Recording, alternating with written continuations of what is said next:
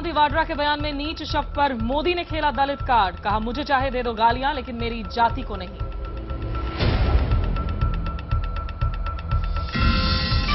मोदी के पिछड़ा कार्ड पर भड़की मायावती, वोट बटोरने के लिए उत्तर प्रदेश में घिनौनी राजनीति का लगाया आरोप। नरेंद्र मोदी से पूछी उनकी जाति।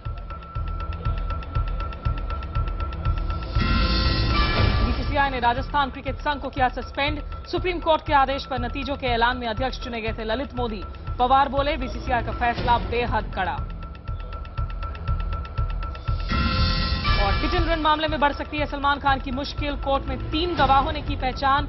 एक गवाह का आरोप, पाँच लाख रुपए लेकर बयान बदलने की दी गई धमकी। पुलिस ने शुरू की जाँच।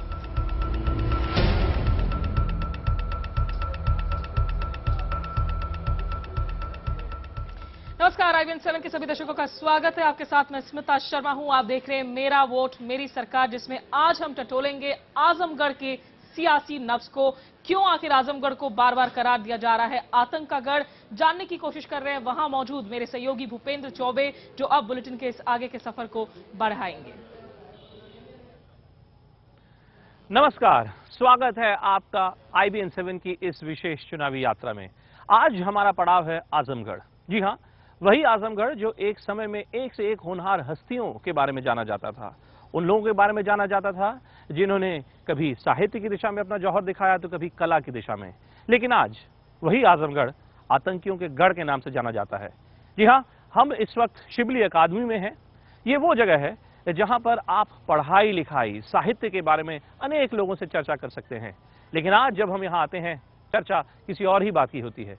चर्चा होती है अमित शाह के बयान की चर्चा होती है मुलायम सिंह के बयान की या फिर आज़म खान के बयान की। इन्हीं सब बयानों की राजनीति के बारे में आपको विस्तार से बताएँगे अगले आधे घंटे में। लेकिन सबसे पहले, वार और पलटवार। क्यों आ रहा है गुस्सा मायावती को नरेंद्र मोदी पर? देखते हैं मायावती और नरेंद्र मोदी के बीच इस वार और पलटवार की असली तकरार। मेरी जाति पे गाली देने पर उतरे आपने ये कह दिया ये नीच की राजनीति है।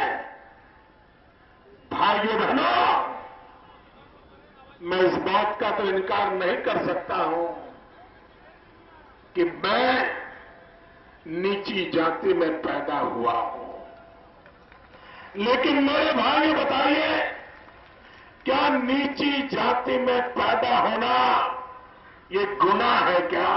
श्री नरेंद्र मोदी को ये कहना है कि नीची राजनीति करने का मतलब किसी जाति विशेष से नहीं होता है। नीची राजनीति करने का अर्थ घटिया किस्म की राजनीति करने से होता है। यदि ये पिछड़े वर्ग से ताल्लुक रखते हैं तो इनको अपनी जाति बताने में तकलीफ़ क्यों हो रही है? वो किस जाति से पिछड़े वर्ग में है? वो नाई है या वो कुशवा है? या फिर वो पाल है।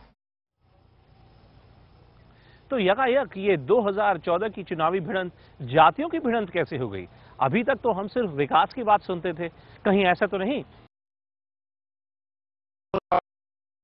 उनको लेकर अमित शाह जी ने कल जो सर भाषण जो यहाँ पे दिया है आप उसको किस प्रकार से देखते हैं? क्या इस जो आप कभी एक आप किसी दिन वो अपराधी से एक अपराधी से हम्म, और एक ऐसा अपराधी जिसे सुप्रीम कोर्ट ने गुजरात में दाखिले पर पाबंदी लगा दी हो एक ऐसे अपराधी से किसी शरीफ बात की उम्मीद कर सकते हैं आप? हम्म। आप और उस अपराधी को संरक्षण दे रहा है इलेक्शन कमीशन बड़ी मैं यही बात आपसे पूछा था क्योंकि मैं जब रामपुर में आपके पास आया था तब आप ये कह रहे थे कि देखिए चुनाव आयोग ने अमित शाह को तो एक प्रकार से बरी कर दिया उनको छूट भी दे दी। आपके खिलाफ लेकिन जो मसला था आपके और अमित शाह के बीच एक तरीके का डिस्टिंक्शन हुआ? मेरे खिलाफ कोई मसला ही नहीं है। मैं एक शरीफ आदमी और अमित शाह? एक अपराधी। लेकिन जब वो ये कहते हैं कि ये आजमगढ़ नहीं आतंकगढ़ है वो समाजवादी पार्टी के ऊपर प्रहार कर रहे हैं वो आजमगढ़ के ऊपर प्रहार कर रहे हैं या अपनी वोट बैंक की राजनीति कर रहे हैं सर? देखिए आप क्या उम्मीद करते हैं आप? क्या उम्मीद करते हैं टॉयलेट में मिठाई तो बेची नहीं जाएगी? नहीं आप बड़े सख्त शब्द आप इस्तेमाल कर रहे हैं। मतलब आप? कह रहे हैं कि टॉयलेट में मिठाई नहीं बेची जाएगी। यानी कि भारतीय जनता पार्टी आपके मुताबिक और अमित शाह आपके मुताबिक क्या हुआ मैंने तो कुछ भी नहीं कहा। नहीं, मैं तो आप ही की बात आगे लेके चल मैं तो अपनी बात कह ही नहीं रहा हूँ। मैं तो एक बात कही कि एक अपराधी से आप क्या उम्मीद करते हैं? लेकिन अगर आप उनको अपराधी बोलते हैं सर तो जब अबू आजमी साहब जो आप ही की पार्टी के नेता हैं जब वो ये कहते हैं कि जो मुसलमान समाजवादी पार्टी को वोट नहीं देता उसका डीएनए चेक कराइए। देखिए ये ये बात हुई, सर? नहीं नहीं ये बात ऐसी हुई कि ये एक अति उत्साह की बात है। अति उत्साह में। अपनी मोहब्बत के इजहार में हो सकता है जाती हो गई हो। लेकिन इसमें और ये कहने में कि एक ऐसा ऐतिहासिक जिला आजमगढ़ उसे आप आतंकगढ़ कह दें। ये दोनों बातें वो अमित शाह का उत्साह नहीं था क्या? वो वो वो, वो भी तो कह सकते हैं कि मेरा उत्साह था। जी उत्साह बड़ा भाषण। कुत्ते का बच्चा भी तो उत्साह था। पाकिस्तान चले जाओ ये भी तो उत्साह था। मकान खाली कर दो ये भी उत्साह था। छह महीने के अंदर पाकिस्तान खत्म हो जाएगा ये भी तो उत्साह था। अयोध्या में रामचंद्र जी की फ़ोटो लगाकर राम राज के लिए लोगों से वोट मांगना ये भी तो उत्साह था। तो यानी सर मुझे ये बताइए कि ये जो चुनाव है अब दो चरणों के चुनाव बचे हैं। क्या ये पूरा का पूरा उत्तर प्रदेश में खास तौर पे? सर चुनाव सिर्फ़ अब इन्हीं सब इश्यूज़ पे लड़ा जा रहा है क्या ये बताएँ?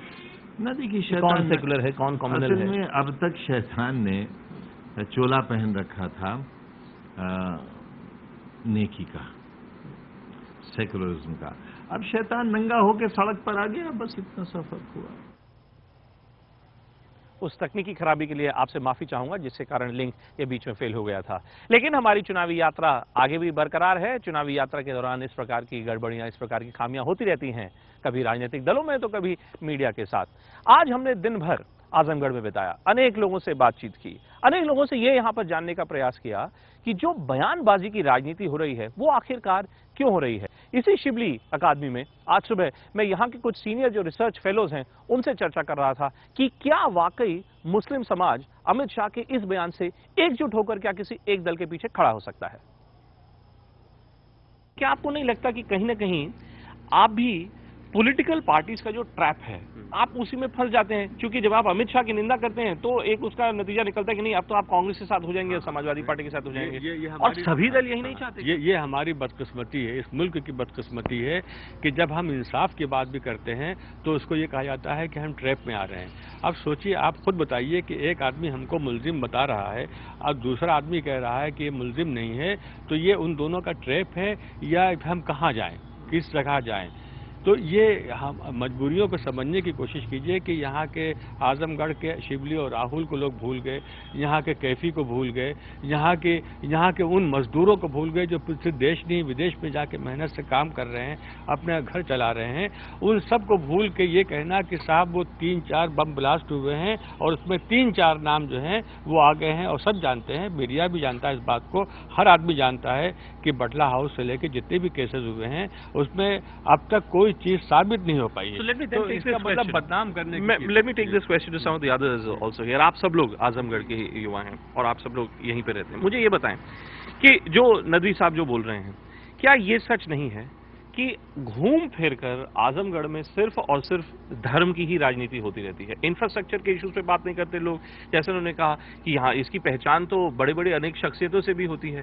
सिर्फ़ और सिर्फ़ इसको धर्म की राजनीति से जोड़कर लोग क्यों देखते हैं? क्या ये जनता का जिम्मा बनता है या नेताओं का जिम्मा बनता है? असल में नेता करते क्या है कि वो अपना उल्लू सीधा करने के लिए या अपना वोट बैंक बनाने के लिए अपने मफाद के मुताबिक मुताबिक काम करते हैं।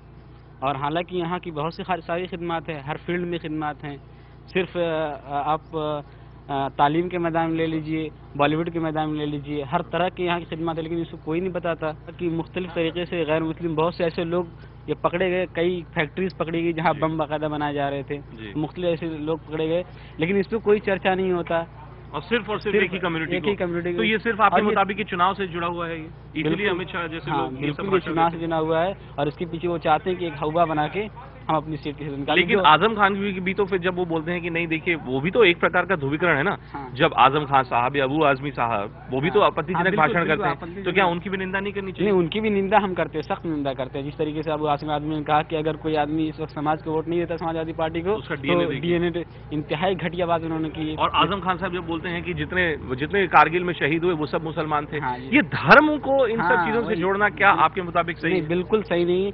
ये एक जमहूरी मुल्क है और यहाँ सेकुलर होकर हर आदमी को इस तरीके से राजनीति करनी चाहिए ताकि सबका भला हो। ना आजमगढ़ में बिजली, सड़कों का खस्ता हाल, पीने के लिए खराब पानी। और उसके बावजूद, देखिए किस प्रकार की चुनावी भिड़ंत हो रही है। किन मुद्दों पर हो रही है? लेकिन चुनाव सिर्फ़ उत्तर प्रदेश में नहीं हो रहे, चौसठ सीटों पर हो रहे हैं कल पूरे देश में। आइए स्मिता शर्मा के पास चलते हैं, जो इस वक्त हमारे एनालिटिक्स सेंटर पर हैं।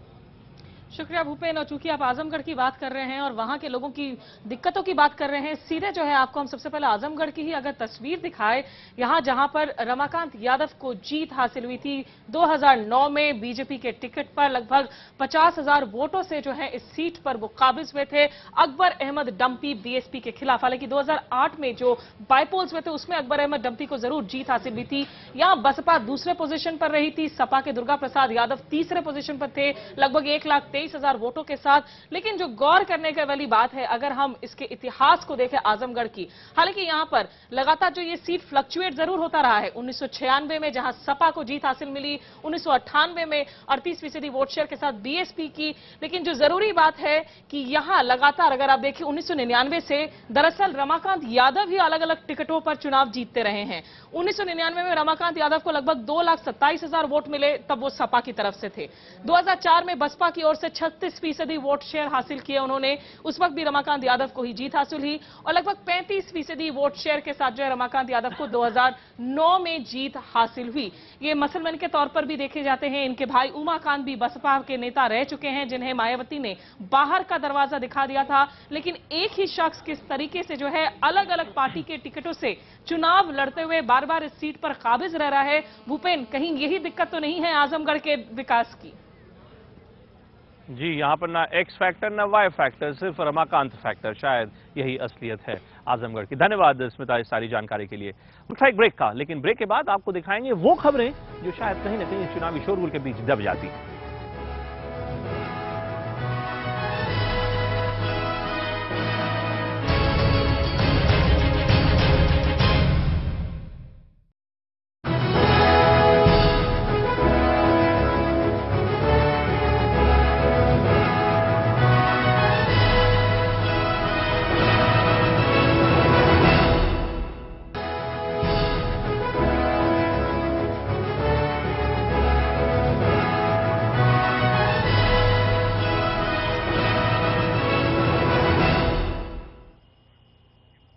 तो चलिए ब्रेक भी समाप्त और इसी के साथ हमारा ये चुनावी सफ़र भी आज के लिए समाप्त। चलते चलते आपको उन चुनावी खबरों से रूबरू करा दें जो कहीं ना कहीं इस पूरी शोरगुल के बीच दब सी जाती हैं। लेकिन हमारी चुनावी यात्रा कल भी बरकरार रहेगी। एक और जगह से फिर आपसे रुखसत होंगे। तब तक के लिए आप सभी को शुभ रात्रि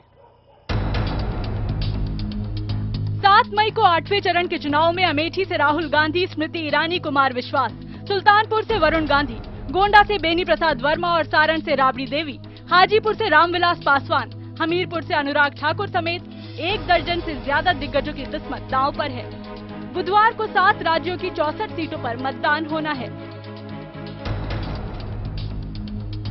यूपी के अमेठी में आम आदमी पार्टी नेता सोमनाथ भारती समेत 40 से ज़्यादा कार्यकर्ताओं पर आचार संहिता के उल्लंघन का मामला दर्ज किया गया है। इससे पहले आप कार्यकर्ताओं को शहर छोड़ने को लेकर पुलिस और कुमार विश्वास और सोमनाथ भारती के बीच जमकर बहस हुई थी। कि जो लोग यहाँ से बाहर के हों जिनके पास अमेठी का मतदाता परिचय पत्र ना हो वो अमेठी छोड़कर तुरंत चले जाए। जब मैं बाहर बात करने के लिए गया तो पुलिस ने काफ़ी अभद्रता की। पंजाब के होशियारपुर से बीएसपी प्रत्याशी भगवान सिंह चौहान ने बाबा रामदेव पर एक विवादास्पद बयान दे दिया। चौहान के मुताबिक जो भी रामदेव का सिर काट कर लाएगा उसे एक करोड़ रुपए इनाम दिया जाएगा। तो आज ऐलान करना जे कोई कोई दादा आदमी जो इस ਦਾ ਸਿਰ ਵੱਢ ਕੇ ਲਿਆਵੇ ਉਹਨੂੰ 1 ਕਰੋੜ ਰੁਪਈਆ ਇਨਾਮ ਦਿੱਤਾ ਜਾਊਗਾ।